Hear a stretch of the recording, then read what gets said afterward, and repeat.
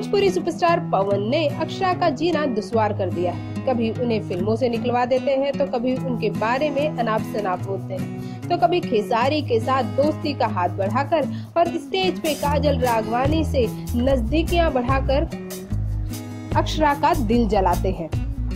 लेकिन लेकिन लेकिन, अब अक्षरा ने भी ठान ली है कि वो अब पवन खेसारी के हर बात का मुँह तोड़ जवाब देंगी। अक्षरा ने पवन की गालियाँ मार सभी सही बदले में पवन सिंह से उन्हें मिला धोखा।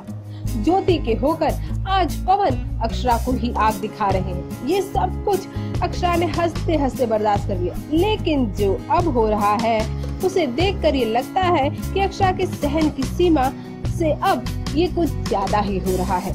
तभी तो अब अक्षरा ने खेसारी और पवन सिंह के खिलाफ आवाज़ उठानी शुरू कर दी है।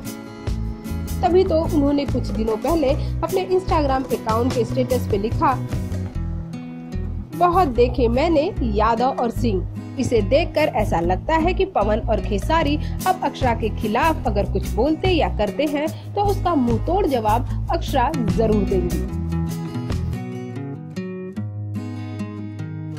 भोजपुरी जगत की मसालेदार और हॉट गॉसिप के लिए हमें सब्सक्राइब करना ना भूलें।